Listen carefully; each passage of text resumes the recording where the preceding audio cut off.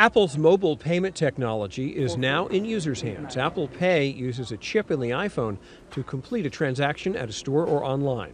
I think it's a great idea. It's, it's very convenient. You know, you don't have to carry a wallet with you. Apple says it's also more secure. A quick swipe of the iPhone and a second or two to process your fingerprint is all you need to do at checkout.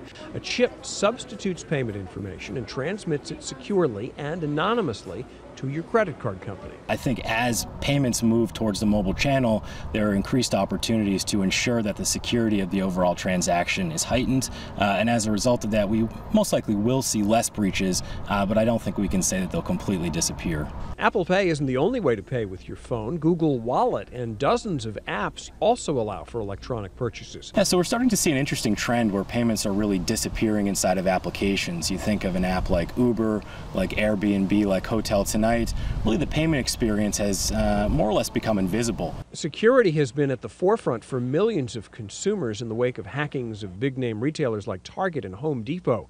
I think if you look at the world where we're in today in the United States, which is uh, about the magnetic stripe, it's not very secure. You know, if you're an enterprising fraudster, you know, you can easily skim payment card credentials off of a magnetic stripe card. A shift to more secure chip based cards is expected to be completed in the U.S. by October of next year. But until that happens, consumers will be keeping a close eye on their wallets and possibly eyeing the phone as a smarter solution. Warren Levinson, Associated Press.